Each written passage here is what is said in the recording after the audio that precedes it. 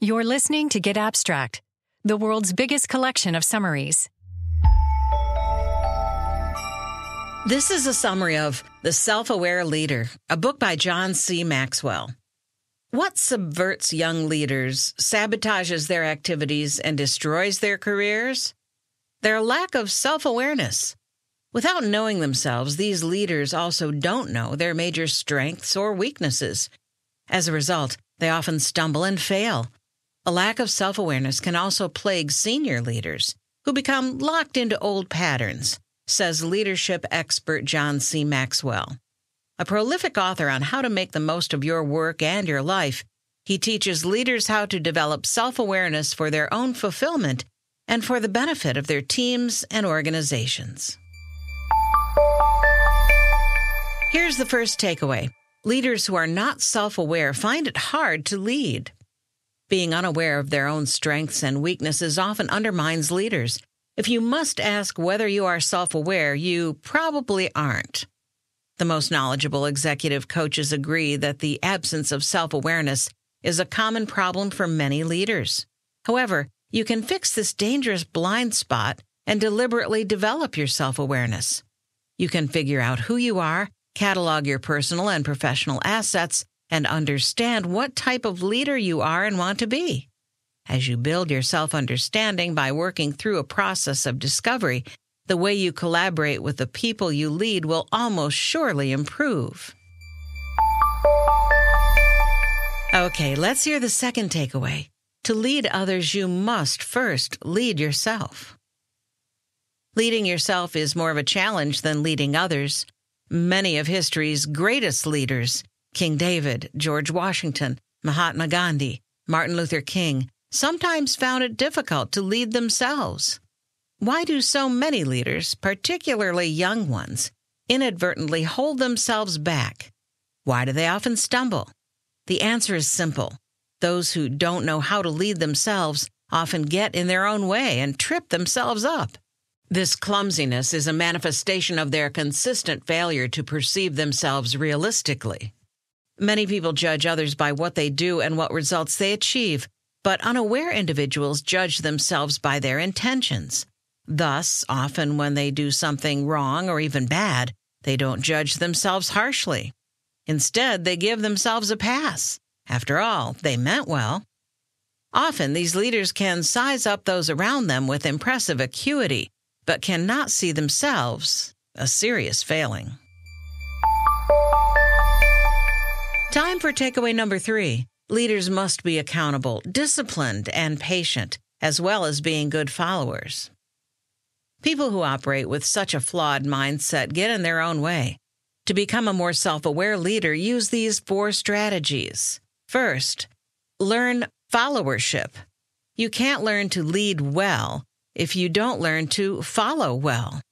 Among other things, this means understanding the world you live in and empathizing with those around you.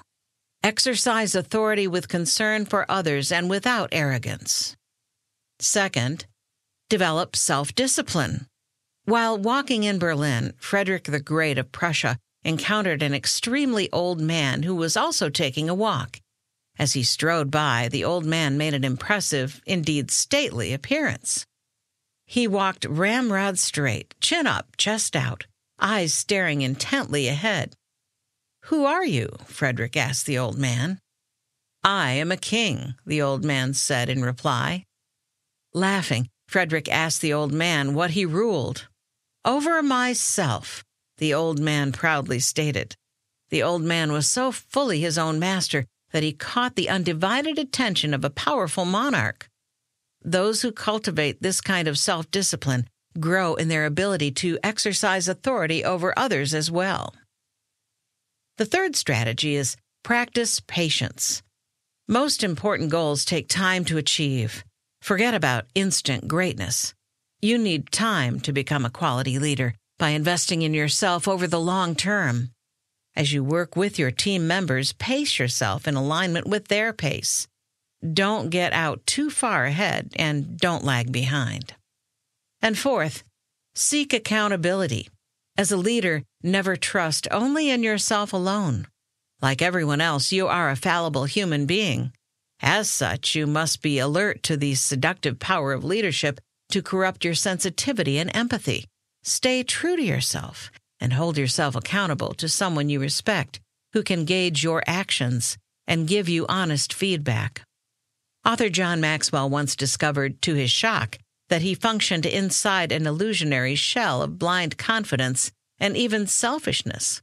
He vowed to never fully trust himself and to make sure he was always accountable to someone else, someone who could call him out when he reverted to putting himself above his employees. Accountability is an essential characteristic for all leaders, but leaders aren't only accountable for their own actions, they are, of necessity, accountable for the actions of their teams. Such accountability goes hand in hand with willingness to accept good advice from people you respect. Mature leaders are always willing to take advice. Okay, here's another takeaway leadership requires selflessly guiding others. Ultimately, leadership has nothing to do with you and everything to do with enabling your team members to achieve their goals. Self aware leaders embrace this basic truth. They're effective at leading themselves and self aware enough to be humble and down to earth. They admit their weak points and work on strengthening them. They are fully aware that being a leader is a trust, not a right. We've now reached takeaway number five. Smart leaders play to their own strengths. What do you do well? Where do you excel? What strengths distinguish you? Focus your efforts there and concentrate on building up those mental, emotional, psychological, and competency assets. Most people find that recognizing their strengths helps them define their purpose. Leaders often learn their primary purpose as they discover and nail down their main strengths. Maxwell explains that connecting with others and climbing upward in his career are his two greatest strengths.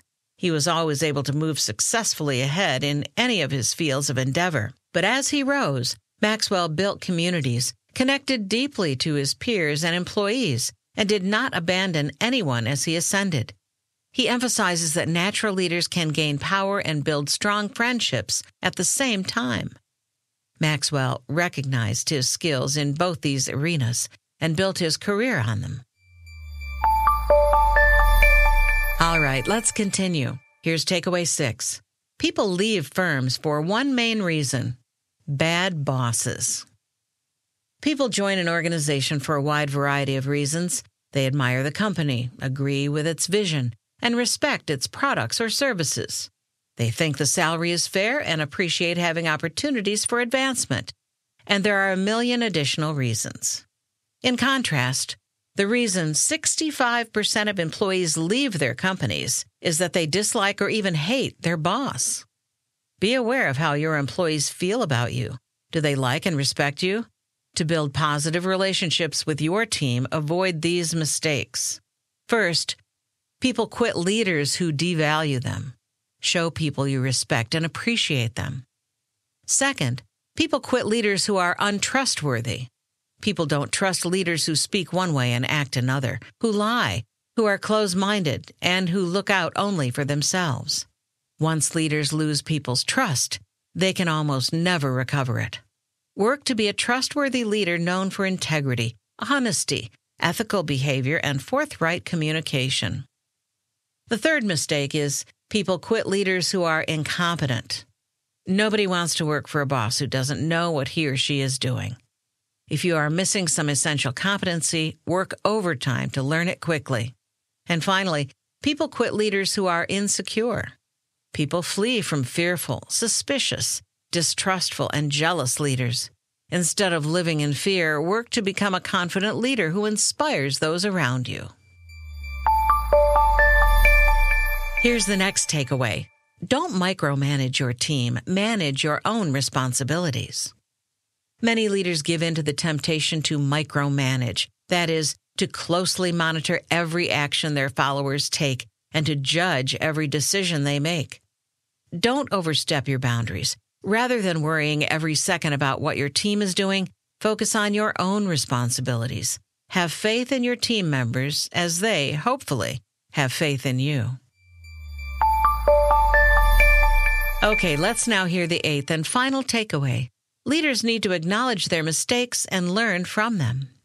Many leaders foolishly think they don't make mistakes. They assume that since they are in charge, nothing they do could be wrong. The truth is, of course, everyone makes mistakes. The mature path is to learn from your errors and from these additional leadership tips. First, choose focus over further exploration. Some leaders are dilettantes. When you are just starting your career, you would be wise to pursue different paths and even a variety of career paths to learn what suits you and what does not. But as you mature, you must pick an arena and focus on it single mindedly. Learn where and at what you excel, and invest all your strength and energy in your specific excellence. Second, choose personal growth over immediate gratification. No one in today's culture is very good at delayed gratification. Yet, to lead effectively, you must focus on your long term goals and development. If you must delay fun, nicer possessions, or an easier life to attain your goals, you will savor them all the more when the time comes because you focused first on your personal and professional growth. The third tip is put your team ahead of your career advancement. Some leaders climb to the highest corporate ranks without making meaningful connections along the way. They knock others aside to get and stay on top. That leaves them without supportive colleagues or loyal followers when their trajectory starts to fade. Fourth, handle criticism with grace. Criticism comes with leadership. Try to view it as well intended. Take constructive criticism to heart and adapt accordingly, and ignore criticism that intends to take you down. Fifth, become the best learner in the room. This will make you the best leader in the room, too. Invest in yourself by learning as much as you can. Never stop learning, and as you develop yourself practically and intellectually, make sure the people you lead also have opportunities to grow. The sixth tip is judge your leadership by the success of your team. Good leaders make things better. To judge whether you are a good or bad leader, ask how well your team members handle their work and what results they're achieving. Seventh, Take the longer road that leads to higher leadership. You may be tempted to take the quick and easy path, but good things don't come easily. Take the tougher road. That's the one with the biggest payoff. Eighth, listen more than you talk. When people speak to you, pay attention. Don't get distracted or fidgety. Focus on them. And the ninth tip is credit others for your success. The great leaders of history, Alexander the Great, Julius Caesar, Charlemagne, William the Conqueror, Louis XV, Abraham Lincoln, and Winston Churchill could not have made their mark without the assistance of other people. This is true for all leaders. Always acknowledge the people who help you succeed. Plus, when you honor those who helped you, they are more likely to do so again. That was a summary of The Self Aware Leader, a book by John C. Maxwell. Let's hear the eight takeaways once more. Takeaway one leaders who are not self aware find it hard to lead. Takeaway two to lead others, you must first lead yourself. Takeaway three leaders must be accountable, disciplined, and patient, as well as being good followers. The fourth takeaway leadership requires selflessly guiding others. Takeaway five Smart leaders play to their own strengths. Takeaway six people leave firms for one main reason bad bosses. Takeaway seven don't micromanage your team, manage your own responsibilities. And the final takeaway leaders need to acknowledge their mistakes and learn from them. You've been listening to a summary by Get Abstract. For more summaries on this and related topics, visit our app and website